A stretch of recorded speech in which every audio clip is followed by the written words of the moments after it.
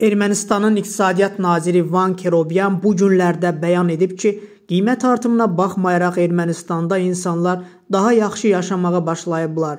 Bu, ölkə vətəndaşlarının problemlərinə qeyri-adekvatlıq və nifrətin simbiozudur. Bu, xalq ilə məzələnməkdir. Axaraz xəbər verir ki, bu fikirlərlə erməni siyasi icmalçı Ambarsum Qabanyan çıxış edib. O deyib ki, Kerobyan reallıqla əlaqəsini itirib. O bir növ çox tənbəl, hiləgər, çirkin, görməmiş və axmaq bir cəmiyyətə sahib olduğuna inanmağa başlayıb. Nazir unudub ki, Dünya Bankının hesablamalarına görə keçmiş SSR respublikalar arasında Ermənistan işsizliyin səviyyəsinə görə birinci yeri tutur. Budurmu yaxşı yaşamaq? Ötən il Rusiya 50 minə yaxın ermənini vətəndaşlığa qəbul edib. Bu son illər üçün rekord rəqəmdir və dövlətimizdə həyat buna işarə edir ki, Hamı buradan qaçmaq istəyir.